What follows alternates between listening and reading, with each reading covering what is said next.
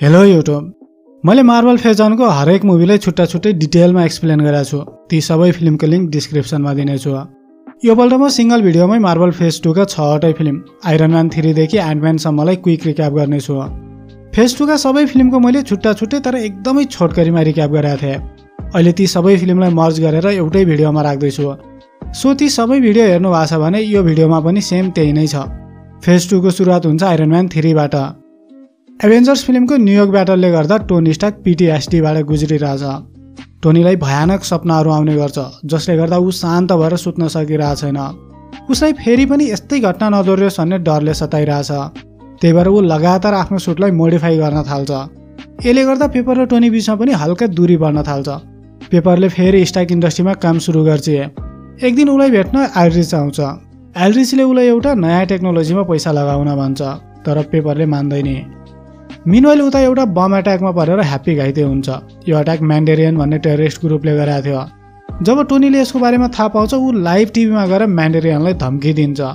उसले लाइभ टिभीमै भन्छ हिम्मत छ भने मलाई अट्याक गरेर देखा। त्यहाँ उसले आफ्नो घरको एड्रेस पनि दिन्छ। म्यान्डेरियनले यसको रियाक्सनमा तिनवटा हेलिकप्टर पठाएर उसको घरमा अट्याक गरिदिन्छ। यो अट्याकमा टोनी बाँच्न त बाँच्छ तर उसको अनफिनिस सुटले उसलाई एकदमै टाढा एउटा गाउँमा पुऱ्याइदिन्छ। पुरै दुनियाँलाई लागेको हुन्छ यो अट्याकमा टोनी मर्यो। तर ऊ भने दस वर्षको एउटा केटा हार्लीको ग्यारेजमा लुक्दै थियो। अर्कोतिर पेपर भने इस्टाको साइन्टिस्ट मायाका लुकेर बसिरहेको थिए। माया त्यो साइन्टिस्ट हो जसले एक प्रकारको एक्सट्रिमिस भन्ने भाइरस बनाउन हेल्प गरेका थिए। टोनी हार्लीको ग्यारेजबाट निस्केर म्यान्डेरियनले बम पड्काएको ठाउँमा चेक गर्न जान्छ। त्यहाँ गएर उसले थाहा पाउँछ यो ब्लास्ट बमले गर्दा भएन। एक्सट्रिमिस्ट भाइरसले एक्सपेरिमेन्ट गरेका मान्छे आफै पड्किरहेको थिए। टोनीले अब थाहा पाउँछ सहरमा भइरहेको ब्लास्ट कुनै टेरिस्टले गरेको थिएन। यो खासमा ती मान्छे आफै पड्केर भइरहेको थियो। अनि यो सब घटना लुकाउनलाई टेरिस्ट अट्याकको बाना बनाइरहेको थिए। स्टाकले खोज्दै जाँदा ती टेरिस्टको मेन लिडर म्यान्डेरियनलाई पनि भेट्छ। तर यहाँ फेरि अर्को कुरा के पनि थाहा हुन्छ भने यो खासमा टेरिस्ट नै होइन। यो एउटा थिएटर आर्टिस्ट हुन्छ जसलाई यहाँ म्यान्डेरियनको नाटक गर्न ल्याएको थिए। एल्डिसले यहाँ टोनी स्टाकलाई बन्दी बनाएर पेपरमाथि त्यही एक्सट्रिमिस्ट भाइरस इन्जर्ट गरिदिन्छ। अर्कोतिर उसले रोडको वार मेसिनलाई क्याप्चर गरेर आइरन प्याट्रोइड बनाउँछ। एल्ड्रिसको प्लान युएस प्रेसिडेन्टलाई किडन्याप गरेर लाइभ टिममा मारिदिने हुन्छ जसले गर्दा उसको लागि काम गर्ने भाइस प्रेसिडेन्ट नै युएसको प्रेसिडेन्ट बन्नेछ। टोनीले आफ्नो आइरन सुट बोलाएर तिनको कब्जाबाट निस्किन्छ अनि रोडीसँग मिलेर प्रेसिडेन्टलाई एल्ड्रिसको प्लान भनिदिन खोज्छ तर अहिलेसम्म ढिला भइसकेको थियो। एल्ड्रिसले पहिले नै प्रेसिडेन्टलाई किडन्याप गरिसकेका हुन्छ। स्टाक र रोडी उसलाई खोज्दै एउटा बन्दरगाह टाइपको ठाउँमा पुग्छन्। त्यहाँ उसले प्रेसिडेन्टलाई लाइभ टिममा मार्ने तयारी गर्दै थियो। स्टाकले त्यहाँ आफ्नो भयभरको आइरन सुटको आर्मी बोलाउँछ। एभेन्जरको इन्सिडेन्टपछि स्टाक यति धेरै डराएको थियो कि उसले आइरन सुटको एउटा आर्मी नै बनाएको थियो। रोडीले प्रेसिडेन्टलाई बचाउँछ भने टोनीले पेपरलाई बचाउन जान्छ। टोनी र एल्ड्रिज बिच भयानक फाइट हुन्छ। तर एल्ड्रिज एक्सट्रिमिस्ट भाइरसले गर्दा एकदमै पावरफुल भइसकेको थियो। पेपरले पनि एक्सट्रिमिस्ट भाइरसले गर्दा पावर थिए उसले एल्ड्रिचलाई मारिदिन्छ अनि टोनीले पेपरलाई बचाउन सबै सुटलाई डिस्ट्रोय गर्छ। केही टाइमपछि पेपरको उपचार गरेर उसलाई एक्सट्रिमिस्ट भाइरसको असरबाट बाहिर निकाल्छन्। उता टोनीले नै अपरेसन गरेर आफ्नो शरीरको सबै सापनेल निकाल्छ। अब टोनी आग रियाक्टर बिना पनि बाँच्न सक्थ्यो। उसले रियाक्टर लगेर फालिदिन्छ र भन्छ म आइरन म्यान हो यो कुरा कसैले मबाट खोज्न सक्दैन। पोस्ट क्रेडिट सिनमा स्टाकले सुतिरहेको ब्रुसलाई उठाउँछ। खासमा स्टाकले यो सब कहानी ब्रुसलाई सुनाइरहेको थियो। तर बोर लागेर ब्रुस चाहिँ अहिलेसम्म निधाइसकेका हुन्छ। फेज टूको दोस्रो फिल्म हो थोर द डार्क होल एभेन्जरको घटनापछि थोरले लोकी र टेस्ट ऱ्याकलाई हेस्कालमा फिर्ता ल्याउँछ। ओडिनले लोकीलाई जेलमा बन्द गरिदिन्छ भने टेस्ट ऱ्याकलाई आफ्नो सेफ्टी भल्टमा राख्छ। नाइन रेलमा एउटा बिरलै हुने घटना द कन्भर्जेन्स छिट्टै हुँदै थियो। जब जब नाइन रेलमा यो अलाइनमेन्ट आउँछ यसले गर्दा ऱ्यान्डमली जहाँ पायो त्यही पोर्टल बन्छन्। यो पोर्टलले नाइन रेलमलाई अर्को दुनियाँसँग कनेक्ट गर्छ। पृथ्वीमा जेन फस्टर र उसको एसिस्टेन्ट ड्रासी लुइसले यस्तै पोर्टलको बारेमा थाहा पाउँछन् र यसको अध्ययन गर्न जान्छन्। तर त्यहाँ जेन फस्टर त्यही पोर्टलमा खसेर अर्को दुनियाँमा जान्छे त्यहाँ ऊ एउटा एथर भन्ने सब्सटान्सबाट इन्फेक्टेड हुन्छ अब एमसियु फ्यानलाई त पहिले नै थाहा छ कि एथर छ इन्फिनिटी स्टोन मध्येको एक रियालिटी स्टोन हो। हामीले एमसियुमा पहिलोपल्ट रियालिटी स्टोनलाई यही फिल्ममा देख्दैछौँ। यसकालमा हेमडलले थोरलाई भन्छ उसले जेनलाई देखिरहेको छैन। योबाट आत्तेर थोर फटाफट पृथ्वीमा जान्छ। तर अहिलेसम्म जेन पनि फिर्ता आइसकेका थिए। जेनलाई देख्ने बित्तिकै थोरले थाहा पाउँछ केही न केही त पक्कै घरबार छ अनि उसलाई लिएर एस्कार जान्छ।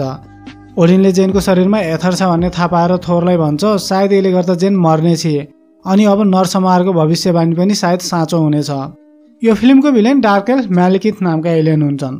जब यिनले थाहा पाउँछन् एथर फेरि बाहिर आइसक्यो र अहिले यो यसकालमा छ यिनले सिधै त्यहाँ हमला गर्छन्। हजारौँ वर्ष पहिले ओडिनको बाउ बोर र एल्फ बिचमा लडाइँ भएको थियो। यो लडाइँमा बोरले एल्फलाई हराउँछ र एथर लगेर एउटा सिक्रेट ठाउँमा लुकाउँछ। एल्फका केही लडाकु त्यहाँबाट भागा थिए। उनीहरू आजसम्म त्यो एथरको खोजीमा थिए। त्यही भएर जब उनले थाहा पाए एथर एस्कार्डमा छ उनले सिधै त्यहाँ हमला गर्दे यो हमलामा जेनलाई बचाउन खोज्दा थोरको आमा मर्छे तर एल्फले फेरि हार्छन्। उनीहरू एथर बिना नै त्यहाँबाट भाग्न बाध्य हुन्छन्। थोरलाई वडिनले भन्छ जेनलाई अहिले यहीँ राख। सबभन्दा पहिले हामीले यसकालको डिफेन्स सिस्टमलाई अझ बलियो बनाउनु पर्छ तर थोरलाई थाहा थियो यदि उनले छिट्टै केही गरेनन् भने जेन मर्छे थोर फेरि लोकीसँग मिलेर डार्क एल्फको दुनियाँमा जान्छ। त्यहाँ उसले जेनलाई एल्फको चारो बनाउँछ। लोकीले झुक्काएर एल्फलाई जेनबाट एथर निकाल्न लगाउँछ। तर उनीहरूको प्लान फेल हुन्छ। एल्फले त्यो सबै एथर निकालेपछि थोरले उनीहरूबाट त्यो एल्फ खोज्ने सोचिरहेको थियो तर अब खोज्न सक्दैन। उनीहरू एथर लिएर त्यहाँबाट भाग्छन्। यो अट्याकमा लोकी एकदमै घाइते भएको थियो र ऊ थोरको अङ्गालोमै मर्छ। थोर र जेन त्यहाँबाट फेरि लन्डन गएर ड्रासे लुइस र डाक्टर साल्विकलाई भेट्छन्। त्यहाँ गएपछि उनले थाहा पाउँछन् एल्फले त्यो एथरलाई लन्डनको त्यही पोर्टलमा राखेर एकैपल्टमा नाइन रेलमै ध्वस्त गर्न चाहन्थे। थोर र उनीहरू बिच ठुलो लडाइँ हुन्छ र आज युजल थोरले तिनलाई हराएर एथर आफ्नो कब्जामा लिन्छ। थोर त्यहाँबाट फेरि एसकार्ड जान्छ र आफ्नो बाउ ओडिनलाई भन्छ म एसकार्डको राजा बन्न सक्दैन। म पृथ्वीमा जेनसँगै जीवन बिताउन चाहन्छु। अनि पृथ्वी फर्किन्छ। थोर पृथ्वी फर्केपछि थाहा हुन्छ खासमा त्यो थोरको बाउ ओडिन नभएर लोकी थियो। योपल्ट पनि उसले मरा नाटक गरेका थियो। मिड क्रेडिट सिनमा भस्ट्याग र सिथले रियालिटी स्टोनलाई लगेर नुहाएर जान्छन् अनि कलेक्टरलाई त्यसको जिम्मा लगाउँछन्। एन्ड क्रेडिट सिनमा थोर पृथ्वीमा आउँछ र जेनसँगै भेट हुन्छ। यो सबै फाइटको बिचमा एउटा फोस्टर जाइन्ट पनि पृथ्वीमै आएको थियो। ऊ त्यहाँ दौडिन थाल्छ र फिल्म सिद्धिन्छ। फेज टूको तेस्रो फिल्म हो Captain America the Winter Soldier. Shield अब दुनियाँका सबै अर्गनाइजेसन र टेरिस्टभन्दा एक कदम अघि रहन चाहन्थ्यो। यसको लागि उनीहरूले प्रोजेक्ट इन्साइड सुरु गर्छन्। प्रोजेक्ट इन्साइडमा उनीहरूले तिनवटा हेली क्यारियर बनाछन् यी हेली क्यारियरको मद्दतले उनीहरूले दुनियाँको कुनै पनि कुनामा जति बेला पनि र जसलाई चाह्यो त्यसलाई अट्याक गर्न सक्छन्।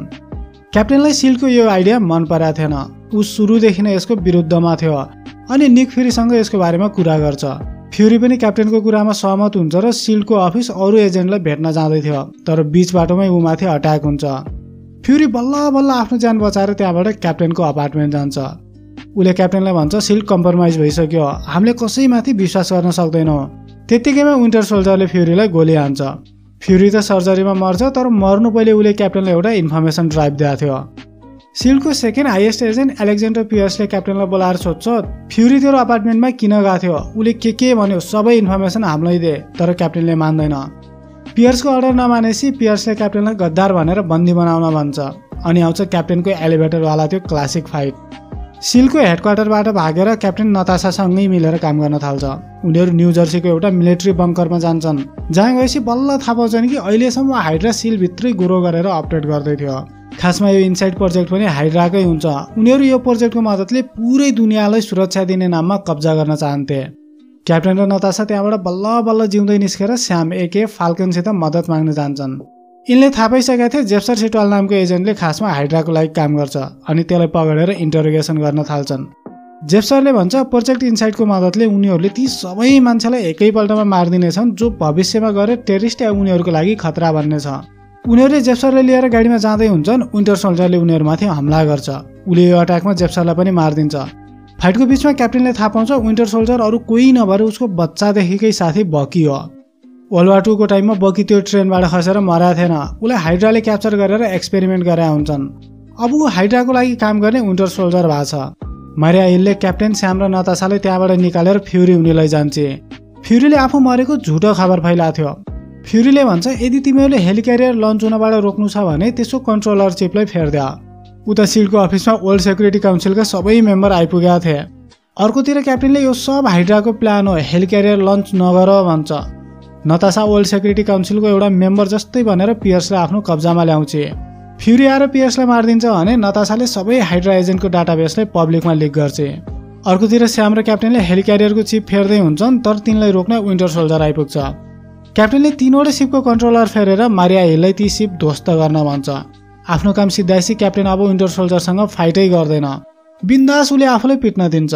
क्याप्टेनलाई आस्थ्यो त्यसको भित्र कतै न कतै अझै पनि बकी बाँकी छ। क्याप्टेनको यो रियाक्सन देखेर विन्टर सोल्जर नि अचम्म पर्छ अनि हेलिक्यारियर ध्वस्त हुँदा पानीमा डुबेको क्याप्टेनलाई बचाएर ऊ भाग्छ। हाइड्रा या भनौँ सिलका गद्दार एजेन्टको डाटा पब्लिस गरेकोमा नतासामाथि केस चल्छ भने एन्ड क्रेडिट सिनमा हामी वान्डा र पियत्रोलाई देख्छौँ। हाइड्राको सिक्रेट ल्याबमा स्ट्रगरले वान्डा र पियत्रोमा एक्सपेरिमेन्ट गरेर तिनलाई म्युटन बनाउँछ। तर हामीले भर्खरै वान्डा भिजन सिरिजबाट थाहा पाइसक्यो वान्डाले आफ्नो पावर यो एक्सपेरिमेन्टमा पाएको थिएन यो एक्सपेरिमेन्टले उमा भएको पावरलाई बढाएको मात्रै थियो। तर जन्मजातै ऊ चाहिँ बोक्सी नै थिए। अब फेज टूको चौथो फिल्म हो Guardian of the Galaxy volume one फिल्मको कहानी नाइन्टिन एटी एटमा सुरु हुन्छ। बच्चा पिटर कुइलको आमा हस्पिटलमा मर्छ भने उसलाई केही स्पेस पाइरेटले उठाएर लैजान्छन्। यी पाइरेटको लिडर एन्डो हुन्छ। अब बाँकी फिल्मको कहानी यो सब भएको छब्बिस वर्षपछि प्लानेट मोरागमा हुन्छ। पिटर कुइलले एउटा मिस्टेरियस अप चरेर भाग्दै हुन्छ। ऊमाथि रोनेनका क्रिया आर्मीले अट्याक गर्छन्। रोनेनले त्यो अप थानोसका लागि चोर्न चाहन्थ्यो किनकि त्यसमा पावर स्टोन छ। कुइल त्यहाँबाट भाग्न त सफल हुन्छ तर यो सब थाहा पाएपछि एन्डुले पनि उसको पछि बााउन्टी लगाउँछ। उता रोनेनले भने कुइलबाट अब फिर्ता ल्याउनलाई गमरालाई पठाउँछ। कुइलले अब लगेर नोभा इम्पायरको राजधानी जेन्डारमा बेच्दै हुन्छ त्यत्तिकैमा उमाथि गमराले अट्याक गर्छ। कुइल र गमरा त्यो अपको लागि फाइट गर्दै हुन्छन् त्यहाँ भएका दुईवटा बााउन्टी हन्टर रकेट र ग्रुटको ध्यान पनि तिनीहरूतिर पर्छ। रकेट र ग्रुटले कुइलले पकडेर एन्डुको पुरस्कार पाउन चाहन्थे तर नोभा कप्सा पुलिस आएर चारैजनालाई जेल हालिदिन्छ। जेलमा एउटा अर्को कति ड्राक्स र डिस्टरहरूले गमरालाई मार्ने ट्राई गर्छ किनकि गमरा थानोस र रोननसँग रिलेटेड थिए। थानोसले ड्राक्सको पुरै परिवारलाई मारेको थियो त्यही भएर ऊ थानोसँग बदला लिने पर्खाइमा थियो। कुइले ड्राक्सले सम्झाउँछ तैँले यसलाई नमार यसले तँलाई रोनेनसम्म पुऱ्याइदिन्छ। तर गमराले भन्छ मैले यो काम गर्न सक्दैन। मैले उसलाई पावर स्टोन दिन चाहन्नथे त्यही भएर मैले उसलाई धोका दिइसकेको छु। जब उनीहरूले थाहा पाउँछन् गमराले त्यो पावर स्टोन थानोसलाई नभएर द कलेक्टरलाई दिन चाहन्छ उनीहरू टिम बनाएर त्यहाँबाट कुइलको स्पेसिप मिलानोमा भाग्छन्। उता रोनेनले भने थानोसलाई भेटेर उसको एडप्टिभ छोरी गमराले दिएको धोकाबारे भन्छ। पिटरको ग्रुप जेलबाट भागेर सिधै कलेक्टरलाई भेट्न नोयर जान्छन्। त्यहाँ कलेक्टरले ओबलाई खोलेर भन्छ यो पावर स्टोन हो छ इन्फिनिटी स्टोन मध्येको एक। यो स्टोन जसले पाउँछ त्यो ग्यालेक्सीको सबैभन्दा पावरफुल भन्ने छ यो सुनेर द कलेक्टरको एसिस्टेन्टले सिधै त्यो स्टोनलाई समात्छ जसले गर्दा त्यहाँ ब्लास्ट हुन्छ। उता रक्सीले माथेको ड्र्याक्स रोननसँग लड्न खोज्छ तर रोननले उसलाई सजिलै हराइदिन्छ। पिटर र बाँकी सबै स्पेसिप लिएर भाग्दै हुन्छन् भने रोननको आर्मी र गमराको बहिनी नेबुलाले तिनलाई चार्दै हुन्छन्। नेबुलाले गमराको सिपलाई तस नस गरिदिन्छ भने रोननको आर्मीले अब लगेर भाग्छन्। उता गमरा भने स्पेसमा खाली मर्दै हुन्छ। पिटरले एन्डुलाई कन्ट्याक्ट गर्छ र गमरालाई बचाउन आफू पनि स्पेसमै जम्प गर्छ। पिटरले गमरालाई बचाउन आफ्नो हेलमेट निकालेर दिन्छ। धन्न टाइममै एन्डो आएर ती दुवैले बचाउँछ। रकेट ड्राक्स र ग्रुटले एन्डुलाई धम्की दिन्छन्। पिटर र गमरालाई छोडिदे नाइ भने हामी तँमाथि हमला गर्नेछौँ। तर पिटरले एन्डुलाई अफ दिने बाचा गरेर शान्ति सम्झौता गर्छ। उनीहरूलाई थाहा छ रोनिनसँग टक्कर लिनु भनेको मृत्यु हो। तर पनि उनीहरूले त्यो पावर स्टोनलाई उसको हातमा छोड्न सक्दैनन्। उता रोनेनको स्पेसिप द डार्क स्टारमा भने रोनेनले त्यो स्टोनलाई आफ्नै वार थेमारमा चप्काएर त्यसको पावर आफैसँग राख्छ। उसले थानसलाई कन्ट्याक्ट गरेर म पहिले जेन्डारलाई बर्बाद गर्छु अनि तँलाई पनि मार्छु भन्ने धम्की दिन्छ। आफ्नो बाउ थानसलाई घृणा गर्ने नेबुलाले पनि रोनेनको साथ दिन्छे। रोनेन र उसको आर्मीले जेन्डारमा अट्याक गर्छ। अर्कोतिर पिटर उसका साथी एन्डुको ग्याङ र पुलिस सबै मिलेर उनीहरूलाई रोक्न खोज्छन्। पिटरको ग्रुप आफ्नो सिप मिलानु लिएर रोनेनको सिप ड्राक स्टारमा घुस्छन्। यति बेलासम्म रोनेनले आफ्नो वार थ्यामर युज गरेर जेन्डारका सबै पुलिसलाई हराइसकेका थियो। सिपभित्र ड्राक्सले कोराथलाई मार्छ भने गमराले आफ्नो बहिनी नेबुलालाई हराउँछ तर नेबुला भने त्यहाँबाट जिउँदै भाग्न सफल हुन्छ। यिनीहरू सबै मिलेर सिपमा भएको रोनेनसँग लड्न त खोज्छन् तर पावर स्टोन पाएर रोनेन एकदमै बलियो भइसकेका थियो।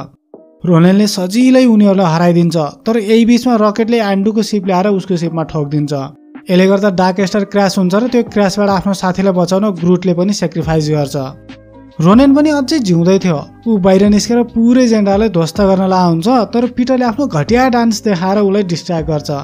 रोनेन डिस्ट्राक्ट भएको टाइममा रकेट र ड्राक्सले वार थ्यामरलाई फोड्छन् भने पिटरले डाइरेक्ट पावर स्टोनलाई समात्छ।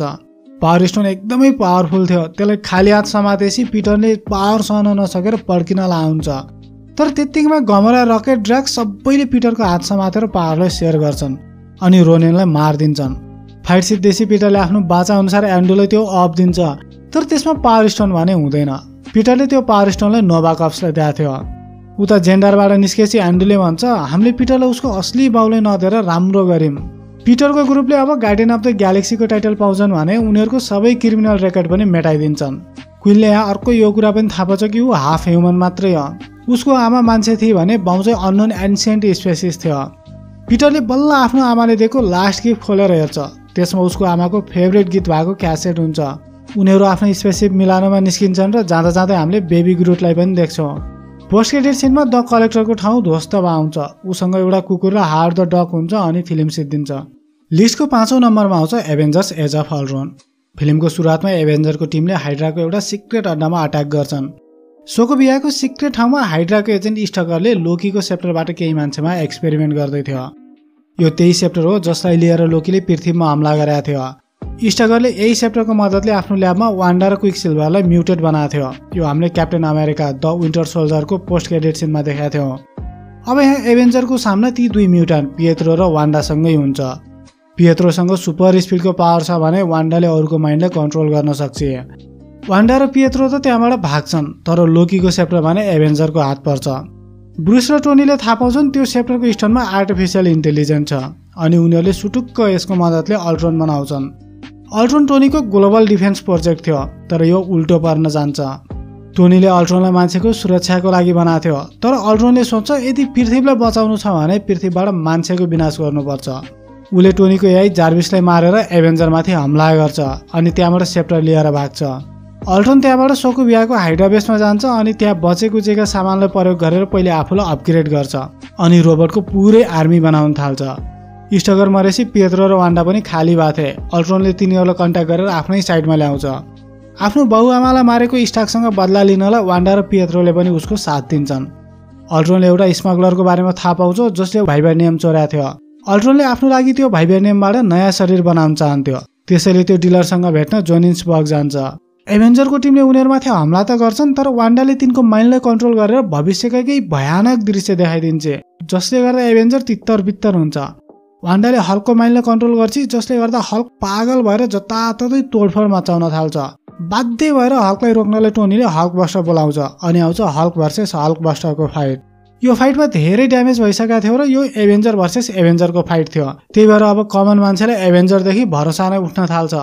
विश्वव्यापी ब्याकल्यास र वान्डाको हेलिजिनेसनले डराएका एभेन्जर केही टाइमको लागि भनेर बार्टनको फार्म हाउसमा लुक्छन्। थोर भने उनीहरूबाट छुटेर डाक्टर स्याल्भिकलाई भेट्न जान्छ। उसले त्यो आफूले हेलोजिनेसनमा देखेको विनाशकारी भविष्यको बारेमा कन्सल्ट गर्न गएको थियो। अर्कोतिर निक फेरि बाटनको फार्म हाउस आएर उनीहरूलाई जसरी नै अल्ट्रोनलाई रोक्नमा भन्छ अल्ट्रोन भने सियोलमा गएर डाक्टर हेलेनलाई सेप्टरको मात्रले पोजेस गर्छ। उनीहरूले त्यहाँ हेलेनको सेन्थेटिक टिस्यु टेक्नोलोजी भाइबेनियम र सेप्टरमा भएको माइन्ड स्टोनलाई युज गरेर एउटा नयाँ बडी बनाउँछन्। अल्ट्रोनले आफूले नयाँ बडीमा अपलोड गर्न थालेपछि वान्डाले त्यसको माइन्ड रिड गर्छ। जब वान्डाले थाहा पाउँछ अल्ट्रोनले पुरै दुनियाँबाट मानव जातिकै विनाश गर्न चाहन्छ ऊ पनि अल्ट्रोनको विरुद्धमा हुन्छ। क्याप्टेन हकाएर नतासा पनि अल्ट्रोनको नयाँ बडी चोर्न आउँछन्। उनीहरू बिच ठुलो फाइट हुन्छ र अन्तत उनीहरूले त्यो बडीलाई चोर्छन् भने। तर यो प्रोसेसमा अल्ट्रोनले नतासालाई किडन्याप गरेर लैजान्छ। उता जब टोनी र ब्रुसले जार्विसले त्यो सेन्थेटिक बडीमा अपलोड गर्छन् एभेन्जर बिचमै फाइट हुन थाल्छ। कतिपय त्यसको पक्षमा थिए भने कतिपय त्यसको विरुद्धमा। जारिसले अहिलेसम्म अल्ट्रोनबाट बस्नलाई इन्टरनेटमै लुकेर बसिरहेको रहेछ। एभेन्जर बिचमा फाइट हुँदै गर्दा थोर पनि आइपुग्छ र त्यो सेन्थेटिक बडीलाई एक्टिभेट गरिदिन्छ। थोरलाई वान्डाले देखाएको फ्युचर अनुसार त्यो ढुङ्गा इन्फिनिटी स्टोन मध्येको एक माइन्ड स्टोन हो। उनीहरूले अल्ट्रोनलाई हराउँछ भने यसको आवश्यक पर्नेछ। यो सेन्थेटिक बडी एक्टिभेट भएपछि यसको नाम भिजन हुन्छ। यसले उठ्ने बित्तिकै थोरको ह्यामरलाई उठाएर एभेन्जरको विश्वास जित्छ। भिजन वान्डा र एभेन्जरको टिम अल्ट्रोनसँग लड्नलाई सोकोभिया जान्छन्। उता अल्ट्रोनले भने केही बचेकुचेका भाइबेनियम टुक्राको मद्दतले पुरै सहरलाई नै हावामा उडाउने एउटा मेसिन बनाएको छ। उसले त्यो सहरलाई आकाशमा एकदमै माथि लगेर पृथ्वीमा खसाल्न चाहन्छ जसले गर्दा त्यहाँ एकदमै ठुलो ब्लास्ट हुनेछ। यसले गर्दा पृथ्वीबाट डाइनोसर जस्तै मानव जातिको पनि विनाश हुनेछ। एभेन्जरको टिम अल्ट्रोनको आर्मीसँग लडेर आउँछ। निक फ्युरी र सिल्का एजेन्ट भने सहरबाट कमन मान्छेलाई हेली क्यारियरमा ओसार्न थाल्छन्। हकाएर एउटा बच्चालाई बचाउने कोसिसमा गोली लागेर वान्डाको भाइ क्विक सिल्भर पनि मर्छ। यसले गर्दा वान्डा एकदमै रिसाएर अल्ट्रोनको मेन बडी नै मारिदिन्छ। तर अल्ट्रोनको एउटा रोबोटले लास्ट मोमेन्टमा त्यो मेसिनलाई एक्टिभेट गरिदिन्छ। अब पुरै सहर आकाशबाट पृथ्वीतिर ठोक्किन जाँदै थियो तर आइरन म्यान र थोरले यसलाई न्युट्रलाइज गर्छन्। उता भिजनले भने अल्ट्रोनलाई इन्टरनेटबाट भाग्न रोकेर यसको अन्तिम शरीरलाई पनि नष्ट गरिदिन्छ। हकले आफूले पहिले गरेको त्यो विध्वंसको पश्चाताप गर्दै जेट लिएर त्यहाँबाट गायब हुन्छ। हल्का हामीले अब एकैपल्ट थोर राग्नारकमा देख्छौँ। ऊ यो जेट लिएर यहाँबाट केही गरी अर्कै प्लानेटमा पुगिसकेका हुन्छ। एभेन्जर्सले अब आफ्नो लागि एउटा नयाँ बेस बना हुन्छन् यो फ्युरीको कन्ट्रोलमा हुन्छ। थोर रेस्कार फर्किन्छ भने हकाले एभेन्जरबाट सन्यास लिन्छ। क्याप्टेन र नतासाले भने नयाँ Avenger Wanda Vision War Machine र फाल्कनलाई ट्रेनिङ दिन थाल्छन्। मिड क्रेडिट आफूले पठाएका लोकी रानुन सबैले हारेसी थानोसले अब म आफै गर्छु भन्छ। अनि इन्फिनिटी गार्डेनलाई उठाउँछ र फिल्म सिद्धिन्छ। फेज टूको छैटौँ र अन्तिम फिल्म हो एन्टम्यान। नाइन्टिन एटी नाइनमा जब सिल्डको साइन्टिस्ट ह्याङ पिमले थाहा पाउँछ सिल्डले उसको जस्तै एन्टम्यानको सुटलाई रेप्लिकेट गर्ने कोसिस गरिरहेछ। उसले सिल्डबाटै राजीनामा दिन्छ। पिमलाई लाग्छ यो टेक्नोलोजी एकदमै खतरनाक छ। यदि यो गलत हातमा पर्यो भने पुरै दुनियाँको लागि खतरा हुन सक्छ। पिमले आफू बाँचुन्जेल यो रात सबैसँग लुकाएर राख्ने कसम खान्छ। पिर्जेन्डेमा पिमको छोरी होप र ड्यारेन क्रसले उसलाई उसकै कम्पनी पिम टेक्नोलोजीबाट बाहिर निकालिदिन्छन्। क्रसले पिमको जस्तै एन्डम्यान सुटको एउटा रेप्लिका एल्लो ज्याकेट अलमोस्ट बनाइसकेका हुन्छ जसले गर्दा पिमलाई एकदमै धेरै तनाव भइरहेछ। अर्कोतिर भर्खरै जेलबाट निस्किएको स्कट ल्याङले नयाँ जीवन सुरु गर्ने कोसिस गर्छ तर आफ्नो क्रिमिनल रेकर्डले गर्दा उसले कतै पनि जब पान्न। ल्याङले आफ्नो छोरीको चाइल्ड सपोर्टका लागि डाइभर्स भएको श्रीमतीलाई पैसा दिनुपर्ने थियो तर जब नपाएपछि ऊ बाध्य भएर आफ्नो पुरानो साथी लुइससँगै मिलेर फेरि चोर्ने प्लान बनाउँछ। उनीहरू चोरी गर्ने एउटा घरमा घुस्छन्। जब ल्याङले त्यहाँको सेफ खोल्छ त्यहाँभित्र एउटा ज्याकेट मात्र हुन्छ। ल्याङलाई लाग्छ यो कुनै पुरानो मोटरसाइकल ज्याकेट हो अनि आफैसँगै लिएर घरबाट निस्किन्छ। जब घर गएर उसले त्यो ज्याकेटलाई ट्राई गर्छ झुक्केर उसले त्यसलाई एक्टिभेट गरिदिन्छ जसले गर्दा उसको शरीर सिकुड्डेर किराको जत्रो बन्छ। ल्याङ एकदमै डराएर फेरि त्यो सुटलाई त्यही घरमा फिर्ता छोड्न आउँछ। तर सुट राखेर फर्किँदै गर्दा उसलाई पुलिसले समात्छ। ल्याङले यहाँ पिमको घरमा चोर्दै थियो। अर्को दिन पिम आफै ल्याङलाई भेट्न पुलिस चौकी जान्छ। त्यहाँ उसले पुलिससँग लुकाएर त्यो ज्याकेट फेरि ल्याङलाई दिएर जेलबाट भाग्नलाई मद्दत गर्छ। खासमा पिमले नै ल्याङको साथी लुइसलाई म्यानुपुलेट गरेर उसकै घरमा चोर्ने बनाएको थियो यहाँ पिमले ल्याङको टेस्ट लिँदै थियो। अब ऊ चाहन्छ ल्याङ नयाँ एन्टम्यान बनेर क्रसको एल्लो ज्याकेट चोरोस्।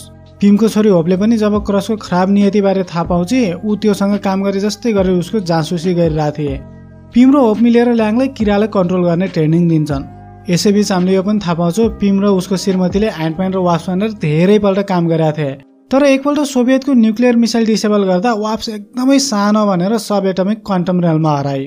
त्यही भएर उसले आफ्नो छोरीलाई ह्यान्डप्यान बन्न दिएको थिएन। पिमले ल्याङलाई पनि चेतावनी दिन्छ। यदि तैँले पनि ख्याल गरेनस् र एकदमै सानो भइस् भने तँ पनि त्यही क्वान्टम रेलमा हराउन सक्छस्। पिमले ल्याङलाई एल्लो ज्याकेट चोर्नु पहिले एभेन्जर हेड क्वार्टरबाट एउटा डिभाइस चोर्न भन्छ। यो डिभाइसको मद्दतले एल्लो ज्याकेट चोर्न अझ सजिलो हुनेछ।